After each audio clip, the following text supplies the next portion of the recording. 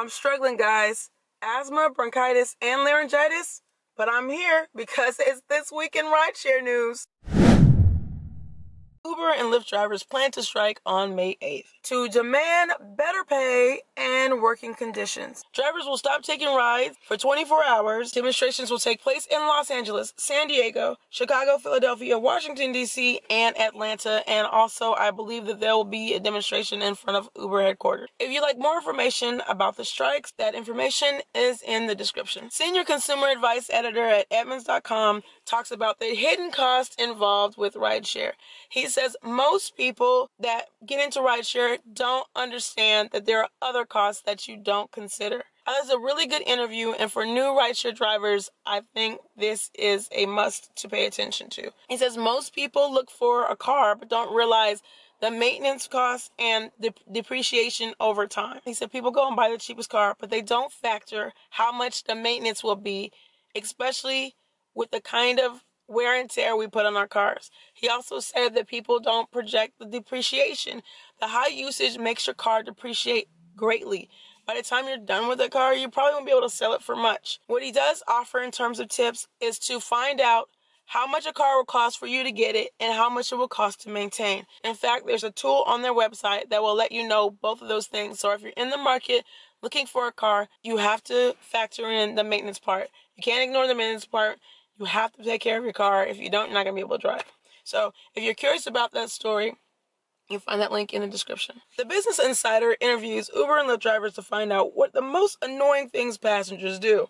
I find this to be funny because this is news, really? Come talk to me. I can give you a whole bunch of story ideas. I want to share some of the things on the list and let me know if you guys agree that these things are annoying. Eating smelly foods, marijuana, disagreeing with the route, slamming the door, bad manners, making female drivers uncomfortable, not being ready to go, not tipping, using incorrect route, or vaping. Personally, and I drive here in Los Angeles, I've never had anybody want to vape in my car. I definitely have had people try to smoke cigarettes and weed in my car.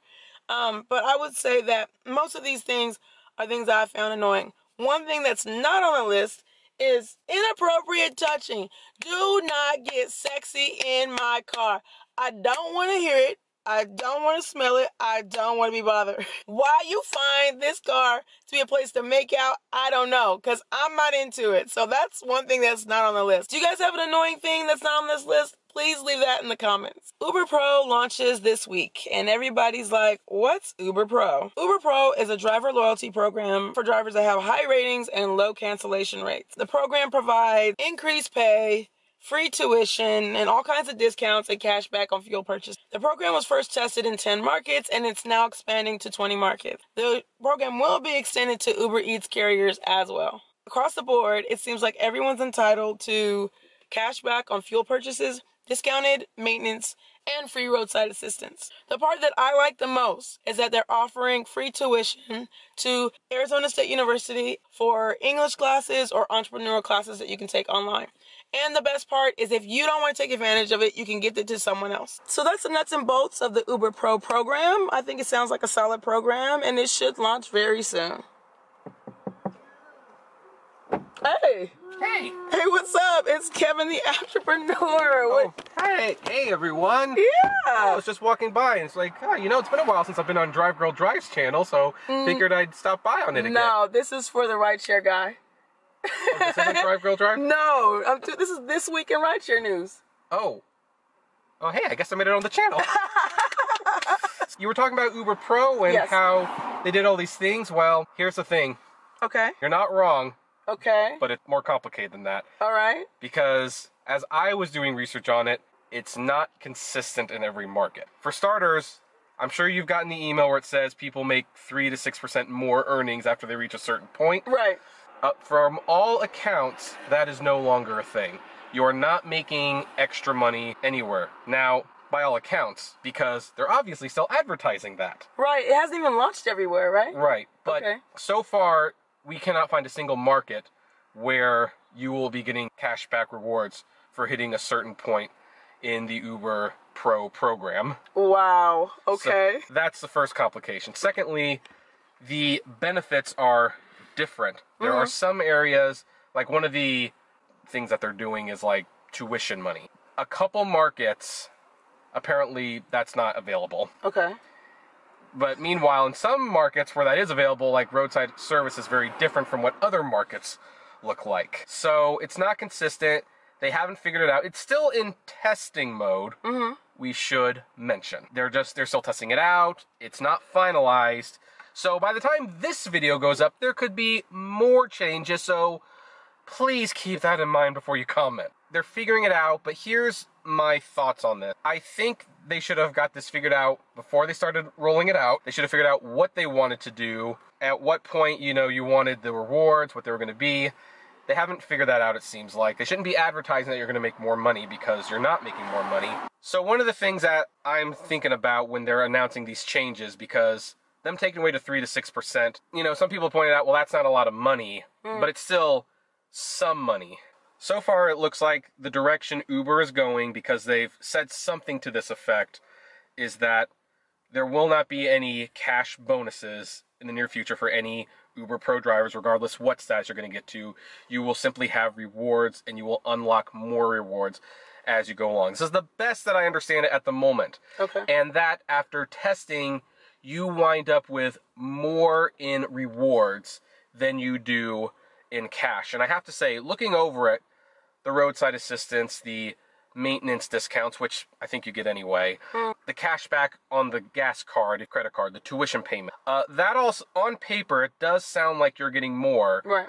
But as another Uber tuber pointed out, when he showed like how he made an extra fifty dollars a week on it, the rewards have to equal that amount of money or more to be worth it, and he doesn't think they do. And the reason is because not everyone's going to be using these perks. Right. Okay, so you have the roadside assistance. Are you going to need it every single week? No. No. You have tuition, but is everyone doing this necessarily going to school? No.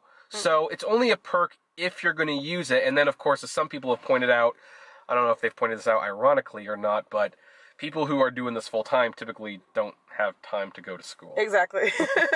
because Uber doesn't pay you enough to do a typical six to eight hour shift. You have to work 10 to 14 hours to get what most $15 an hour jobs would pay. I mean, I think it's cool that they're allowing you to gift it to a family member. That is a very, very nice perk, I yeah, will admit. I think that's cool. I don't think that it's clear to a lot of people too that you have to maintain a certain number of rides to even stay at this level. Even if you want to stay at this level, even though all of these benefits may not actually benefit you. Right. And it should be noted that Uber themselves don't even consider this a reward program for the best drivers because No. and you want to know how I know that? How is that? Do you want to know what the pro stands for? What does it stand for? Program. It doesn't stand for professional. It doesn't? It stands for program. the abbreviation is for program and anyone can use the program. There you go. Wow. I got a fun story too that I want you to weigh in on. Oh yay, I love fun stories. Are we, are we talking about the Sonic the Hedgehog movie? No, we're Oh. not. So I'm looking at the Facebook forum, and there's this driver who says, I hate when Pax leaves stuff in my car. And he basically shows a bag full of like rum and what appears to be hundreds, probably thousands of dollars. Oh my god. Why would you post that on Facebook? Is this on Facebook or Instagram? This is on Facebook. You know, it doesn't matter where it is. You shouldn't be posting this anywhere. He goes, I hate when people leave trash in my car. Um, That's not he- trash. No, That's it's very not. useful stuff. Absolutely. So everyone's going wild about it. And, you know, as people are talking to him, they're like, how much money is it? Are you going to keep the money? What, what's going to happen next? And the guy explains on how he contacted the police and they said for him to reach out to the guy. Now, apparently, he tried to reach out to the guy, and the guy was like, just throw it away. And then he was like, okay, I'm going to come out in 15 minutes. And then he shows his conversation with the guy to prove that the man never showed up and he didn't show any interest into what was inside of the bag. Now, from the young man's standpoint, he thinks that the guy was drunk and completely forgot that he had all this money in that bag. I've heard crazier stories. to be honest. And you never know, guy could be extremely wealthy or a drug dealer. you know what I mean? So, my question for you someone leaves this in your car, what do you do? well, first of all, you don't post it on Facebook or, or Instagram. But the second Right. thing, he probably did do the right thing. You take it to the police, and I think the police actually hold it for a certain amount of time. Okay. And then if no one claims it, then I think it's yours. Oh, wow. and that's the legal way to do it. And my recommendation, if this ever happens, yeah, um, send it to the police as lost and found. If no one claims it, then I think they give it back to you, and then it's yours to do with what you want. Um, I would feel very, very uncomfortable bringing this to anyone's house, to be honest, because it's like, I mean, I feel nervous when someone left a cell phone in the car Yeah. and I brought it to their place. Like, with that kind of money, I'm who knows where they got it, who knows I what connections they have. Who's looking for any of that? And here's one of the reasons you don't want to be sharing this on Facebook, guys. it's because you don't know who's reading your Facebook thing. It's kind of like how they say don't tell anyone on Facebook that you're going on vacation because that's like an invitation to rob you. Mm-hmm. Don't don't show people on Facebook they have that kind of money because sometimes your friends aren't as trustworthy as you think they are. Yes, very true. Personally, I'm rooting for that guy to keep the money somehow. That'd be a nice little payday, but he's doing it the right way, getting the police involved, and we'll just have to see what happens. I'm, I'm curious to see how this gets resolved. Right. I, I emailed him today to see what happened. Um, I'm still waiting to hear back from him, but I was just like, I'm sharing this stuff with everyone because I think it's a good story. It's a good learning story. But I was like, I'm not going to disclose your information, like who you are, because I don't want people to find you and get that money from you because they know that you have it. Well, thank you so much for this. We got to do this some other time. Yes, maybe next time on your channel. You know what? Maybe we will. And you know, it's really cool for you able to pop in every once in a while. So glad that Katie trusts you. Oh yeah, she she trusts me. She's not jealous at all. yeah, that's a real face, by the way. I love it. I love it. You guys are fun. If you like this video, give us a thumbs up. If you're not subscribed to Harry's channel, please subscribe. He offers a wealth of information. And if you're curious about who I am, Cecily Jamila, and my channel is Drive Girl Drive. And you might know this guy. What's your name again? Kevin the Apptrepreneur. Know, we'll leave this information in the description as well. I'm sure you know who he is. but in case someone has seen you for the first time, it's an opportunity for another subscriber. Well, possibly.